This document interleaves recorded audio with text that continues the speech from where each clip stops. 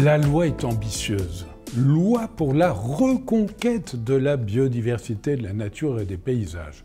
je vous le dis clairement aujourd'hui, quatre ans après la publication de cette loi, c'est un échec total, ou quasiment un déclin comme jamais on a vu. D'abord, il n'y a pas de reconquête. Ensuite, on n'a pas stabilisé le déclin. Et enfin, on assiste toujours à une hémorragie du vivant. Pour en avoir conscience, il suffit de se retourner vers l'IPBES, qui est euh, l'équivalent du GIEC pour la biodiversité, c'est-à-dire les experts mondiaux de la biodiversité, qui expliquent que sur 8 millions d'espèces identifiées, 1 million d'entre elles sont en déclin. Le dernier rapport du WWF euh, nous indique également que 67% des vertébrés sont en déclin. Alors on connaît les causes. Euh, les causes de cette euh, dégradation de la biodiversité, c'est une agriculture intensive avec son cortège chimique plus des démarches en Asie du Sud-Est, comme l'huile de palme en Amérique du Sud, comme le soja qui conduit à la déforestation. Euh, chez nous, c'est l'artificialisation également des sols, près de 60 000 hectares par an de béton et d'asphalte qui couvrent le terres agricoles et naturelles.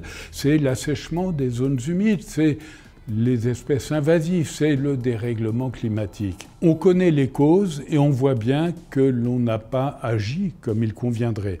Alors, en étudiant cette loi sur la biodiversité, on constate quand même qu'il y a des avancées notoires, renforcement notamment euh, de la législation. Euh, il y a le fait qu'il n'y ait pas de recul théorique de la biodiversité. Il y a une nouvelle gouvernance avec euh, la création de l'Agence française de la biodiversité qui deviendra l'Office français de la biodiversité. Tout ça est admirable, mais insuffisant. Tel que l'a présenté Alain, il est évident que cette loi étant extrêmement large, nous aurions pu en ouvrir euh, plein d'horizons. Nous avons fait le choix de s'arrêter sur quatre euh, axes qui vont se traduire sur quatre axes de préconisation, parce qu'à travers effectivement de ces axes de préconisation, ils ouvrent d'autres chantiers. Le premier, qui est la séquence éviter, réduire et compenser. Éviter, réduire et compenser se suffit à lui-même. Sauf qu'en France, depuis que cette loi existe, nous sommes plus limités à de la compensation, voire un peu de réduction et pas du tout à l'évitement. Ce qui nous conduit à une véritable catastrophe en termes de disparition du foncier euh, agricole en l'occurrence. Et ce qui nous amène au deuxième axe de la préconisation, c'est effectivement l'artificialisation des sols.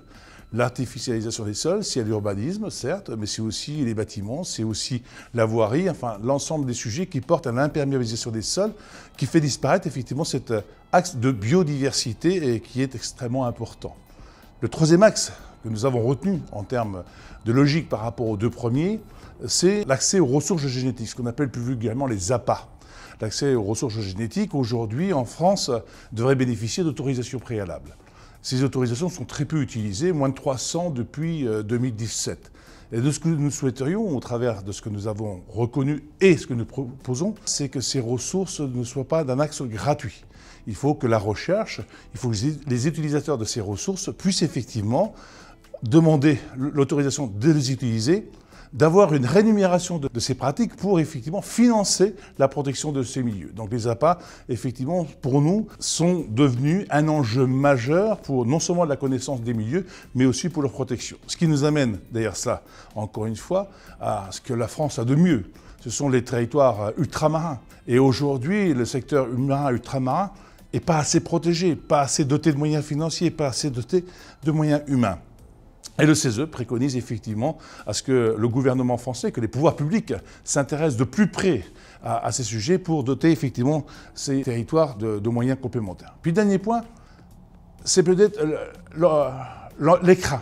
Euh, ce qui se fait le plus beau, c'est qu'on a créé l'Office français de la biodiversité, qui rassemble la totalité effectivement des structures s'intéressant à ces sujets de langage, avec des moyens de recherche, des moyens d'appui, des moyens de police.